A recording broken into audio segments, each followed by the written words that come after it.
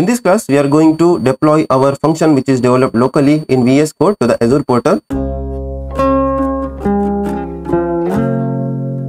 First thing you have to make sure we are signed into your Azure account in this Azure extension. Then you see the subscription which is active.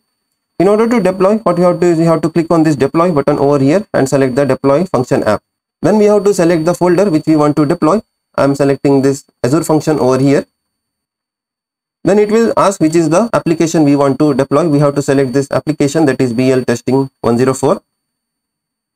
Then we will get the prompt this will override any previous deployment and cannot be undone. Just click on this deploy. So you can see the progress of the deployment over here. So once all the checks are done, it will start deploying our BL testing 104 application to the Azure portal. Now let's verify over here and let me just refresh and see whether any application or function got deployed within this application. It's not done yet.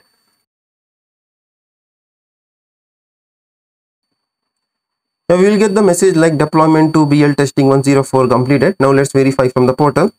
Now you can see that HTTP trigger one function got deployed from our local computer that is VS Code which was developed locally over here.